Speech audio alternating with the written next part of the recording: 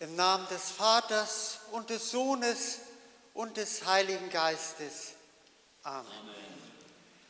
Herzlich willkommen am heutigen Gottesdienst, den dritten Sonntag in der Passionszeit. Heute geht es sehr ernst zu. Einmal im Wochenspruch und dann auch im Evangelium und im Predigtext. Alle drei aus dem Lukas-Evangelium. Wer die Hand an den Pflug legt und schaut zurück, ist nicht geschickt zum Reich Gottes. Ein Bild aus der Landwirtschaft wo es darum geht, alles zu tun, damit man gute Frucht erhält. Und der Landwirt behält seine Zugtiere im Auge und das Gelände, das fällt vor ihm. Und was hinter ihm, das bringt nichts mehr, das liegt zurück, das ist Vergangenheit. So ist es auch mit Jesus wenn Jesus uns zur Nachfolge ruft und wenn Jesus in uns durch seinen Geist Frucht bringt. Frucht bringt für das Reich Gottes, für sein Reich.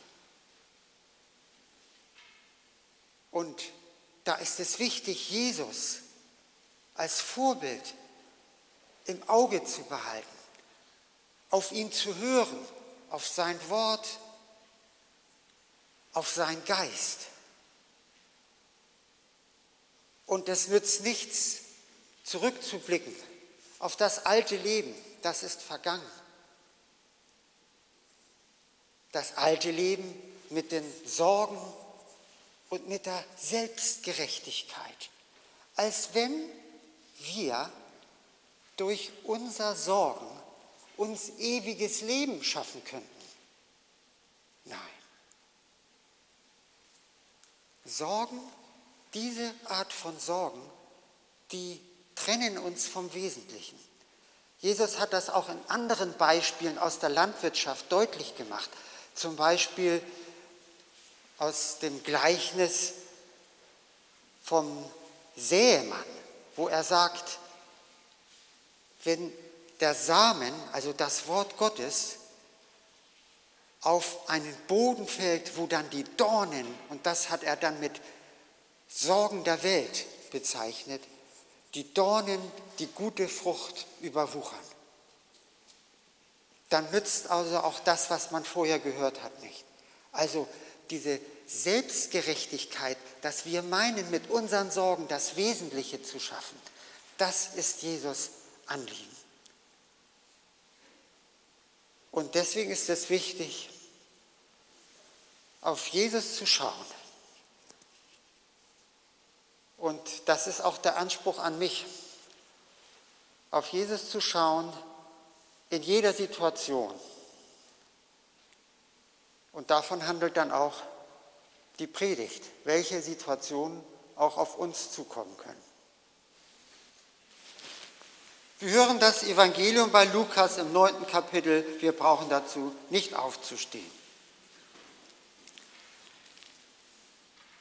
Als sie auf dem Wege waren, sprach einer zu Jesus, ich will dir folgen, wohin du gehst.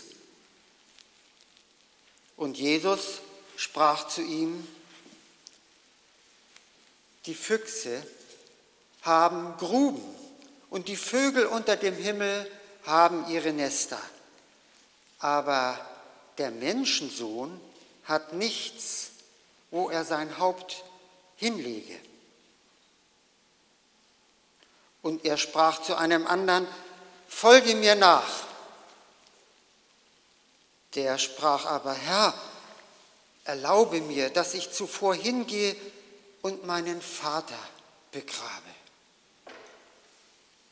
Er aber sprach zu ihm, lass die Toten ihre Toten begraben, du aber geh hin und verkünde das Reich Gottes. Und ein anderer sprach, Herr, ich will dir nachfolgen, aber erlaube mir zuvor, dass ich Abschied nehme von denen, die in meinem Hause sind. Jesus aber sprach zu ihm, wer die Hand an den Pflug legt und schaut zurück, der ist nicht geschickt für das Reich Gottes. Die Gnade unseres Herrn Jesus Christus und die Liebe Gottes und die Gemeinschaft des Heiligen Geistes sei mit uns allen. Amen. Ich lese uns zunächst einmal den Predigtext für heute aus dem Lukasevangelium, Kapitel 22 vor, die Gefangennahme Jesu. Als er aber noch redete, siehe, da kam eine Schar und einer von den Zwölfen, der mit dem Namen Judas, ging vor ihnen her und nahte sich Jesus, um ihn zu küssen. Jesus aber sprach zu ihm, Judas, verrätst du den Menschensohn mit einem Kuss? Als aber die um ihn waren sahen, was geschehen würde, sprachen sie, Herr, sollen wir mit dem Schwert dreinschlagen? Und einer von ihnen schlug nach dem Knecht des hohen Priesters und hieb ihm sein rechtes Ohr ab. Da sprach Jesus, haltet ein.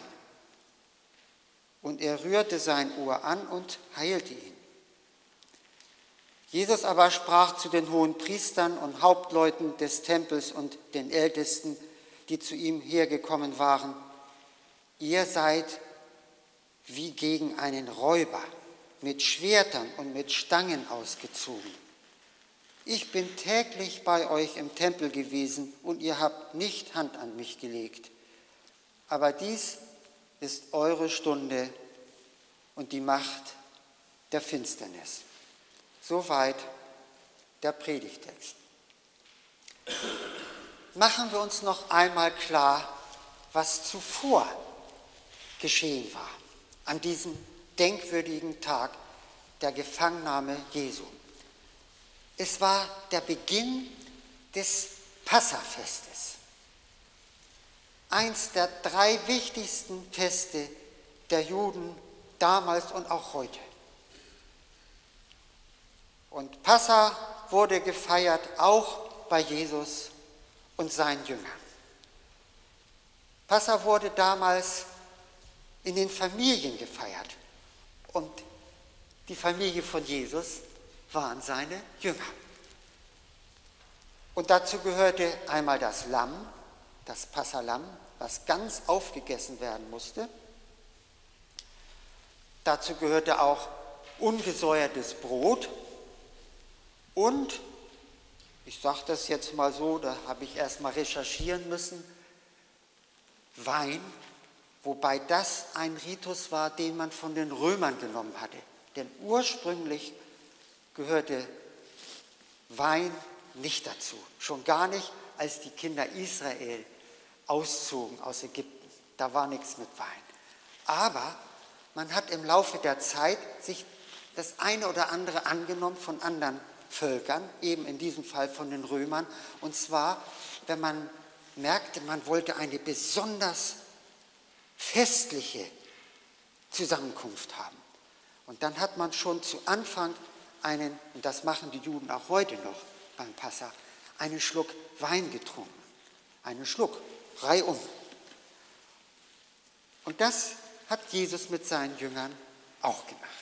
Und was auch damals schon dazu gehörte, anders als ursprünglich mal, als die Kinder Israel aus Ägypten zogen, aber zu Jesu Zeiten war, dass Reden gehalten wurden. Und Jesus war ja schon drei Jahre mit seinen Jüngern unterwegs, aber an diesem ersten Tag des Passafestes da hat Jesus besonders lange Reden gehalten, seine Abschiedsreden. Und die Jünger haben das gar nicht gerafft. Die konnten sich da noch kein Bild von machen, dass Jesus sagte, Niemand hat größere Liebe als der, der sein Leben lässt für seine Freunde. Dachten die, Mann, der redet ja immer tolle Sachen, aber das haben sie noch gar nicht auf die Reihe gekriegt. Und dann ist Jesus in die Nacht gegangen mit seinen Jüngern an den Fuße des Ölberges, denn er wusste, er wusste, was ihn erwartete. Dass er verraten würde, wie wir das eben gelesen haben, dass er gefangen genommen würde, dass er gefoltert würde, dass er auf römische Art und Weise zu Tode gekommen kommen würde, gekreuzigt würde. Und dass er von allen, von allen seinen Nachfolgern verlassen würde. Und in einem Moment am Kreuz, wo er die Schuld der ganzen Welt, kann man sich gar nicht vorstellen, trägt, sogar von Gott. Das wusste er, als er jetzt rausging in die Nacht mit seinen Jüngern. Und er war ein Mensch, genau wie wir, und hatte nicht Angst um sein Leben, aber Angst, so allein gelassen zu werden. Und deswegen sagt er zu seinen Jüngern, bleibt bei mir, wachet und betet, wachet und betet. Und was war mit den Jüngern? Entweder hatten sie doch zu viel Wein getrunken oder die Reden waren zu lang. Also die haben das nicht absichtlich gemacht. Sie sind eingeschlafen. Dreimal ist Jesus zurückgegangen und hat gehofft, dass seine Jünger ihm beistehen, wachen und beten. Und wir wissen das auch. Wenn wir in einer ganz, ganz kritischen Situation sind, dann ist das eine enorme Hilfe, wenn wir wissen, dass es da noch Leute gibt, die bei uns sind. Und wenn sie nicht bei uns sind, die wachen und beten. Und was mich besonders berührt ist, wachen und beten kann jeder, der mal im Bett liegt, auch als Todkranker oder wenn er ganz stark ist. Wachen und beten kann jeder. Und das kann uns davor bewahren, wie Jesus auch sagte, wachet und betet, damit ihr nicht in Anfechtung fallet. Das kann uns davor bewahren, etwas ohne Gottes Willen zu tun. Aber seine Freunde waren zu müde und sie versagten in der entscheidenden Stunde. Und dann kommt Action in die Stille, wie wir vorhin gelesen haben. Bewaffnete mit Fackeln nähern sich, die Jünger springen auf, sind alarmiert und wollen kämpfen. Das ist die Anfechtung. Die Idee, selbst loszuschlagen. Aber der Kampf spielt sich nicht auf dieser Ebene ab. Das hat Jesus deutlich gemacht. Ihren Kampf mit ihrer Müdigkeit haben sie verloren. Anscheinend sind die Jünger bewaffnet, denn sie fragten ihn, ob sie jetzt für ihn kämpfen sollten mit dem Schwert in der Hand wollten sie jetzt etwas für Jesus tun. Ich denke mal, das entspricht unserem Vorgehen als Menschen. Kommt Bedrohung, schnell reagieren und verteidigen. Das sehen wir auch im großen Maßstab in Europa jetzt so sind wir Menschen. Fühlen wir uns, unser Leben bedroht, wird nicht lange gefackelt. Aber immerhin fragen die Jünger noch, ob sie losschlagen wollen, bis auf einen. Der fragt gar nicht, der haut gleich los. Wobei das Losschlagen nie eine gute Idee ist, wie Jesus verdeutlicht. Und er macht den Schaden wieder gut, den der impulsive Jünger angerichtet hat. Er heilt des Hohenpriesters Knecht, beziehungsweise das Ohr. Und machen wir uns nichts vor, dieser Jünger, der wollte nicht sein Ohr abhauen. Das ging direkt auf den Kopf und gerade noch vorbei. Obwohl es hier um Jesus, um Gottes Sohn ging, ihm beizustehen, für ihn einzutreten, für ihn zu kämpfen, sagt Jesus Nein. Ja, gibt es denn noch einen bedeutenderen Anlass, als für Jesus, für Gott selbst die Waffe zu ergreifen? Wie vermeintlich bei den Kreuzzügen und den Andersgläubigen im Mittelalter, da machte man so etwas für Gott.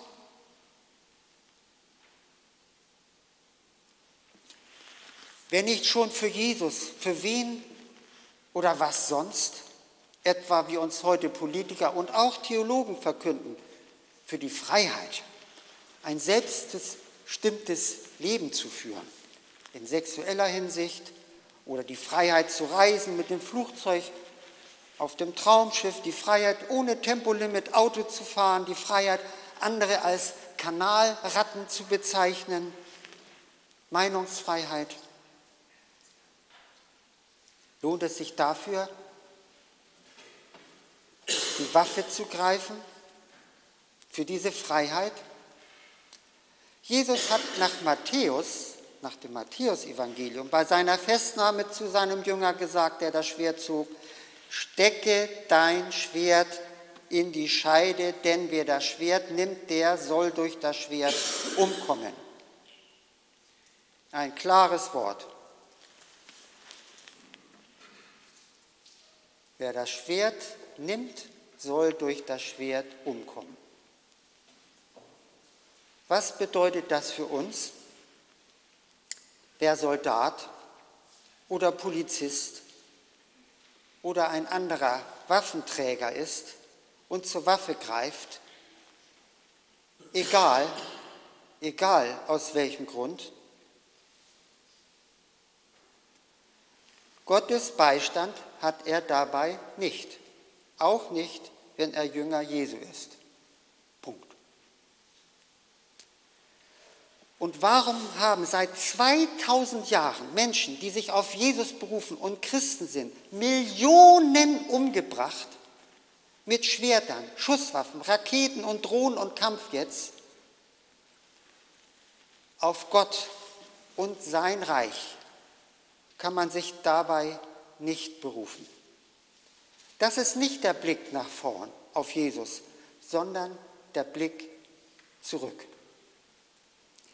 Ich lese gerade fortlaufend im Alten Testament. Ich lese gern die Bibel immer von vorne bis hin, immer wieder, x-mal schon. Und dort wird festgestellt, dass Gottes Volk, also das Volk Israel, heilig sein soll. Nicht heilig ist, sondern heilig sein soll. Das ganze Volk, ein ausgewähltes Volk von Priestern, nicht nur die Leviten und nicht nur die Söhne Aarons, das ganze Volk. Und ausgewählt zu einem heiligen Leben für ihn sind seit Jesus auch wir. Aber der Blick auf Jesus heißt jetzt, liebt eure Feinde, tut wohl denen, die euch hassen. Die Kirche und der Staat sind eben nicht gleichbedeutend mit dem Reich Gottes. Im Reich Gottes steht man anderen bei durch Gebet und Barmherzigkeit, nicht durch Waffen im Reich Gottes. Das ist eine Lektion an die Jünger damals am Fuße des Ölbergs und an uns Jünger heute in der Passionszeit im Jahre 2023. Im Reich Gottes steht man anderen bei durch Gebet und Barmherzigkeit, nicht durch Waffen. Für das Volk, für die Freiheit, für das Leben auf Erden zu kämpfen, ist seit Menschengedenken Usus, völlig normal. Was ist das für eine alte Botschaft, dass man seinen Feind, den bösen Angreifer, töten darf? Seit Menschengedenken.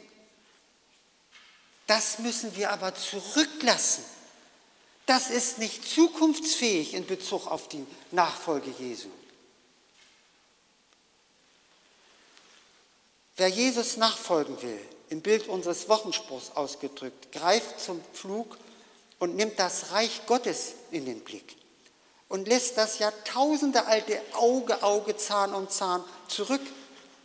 Sonst ist er nicht dabei, sagt Jesus. Bei Jesus war das nach vorne schauen eine schwere Last, übermenschlich. Er wusste als Sohn Gottes, was ihn erwartet. Wir wissen heute nicht, was auf uns zukommt. Aber als Kinder Gottes wissen wir, dass wir zu seinem Reich gehören. Heute und über den Tod hinaus. Und brauchen uns deshalb um unser Leben hier auf Erden nicht zu fürchten, denn das geht ja vorbei aber das ewige Leben nicht. Und der Frieden Gottes, der höher ist als unsere Vernunft, der bewahre unser Herzen und Sinne in Jesus Christus. Amen.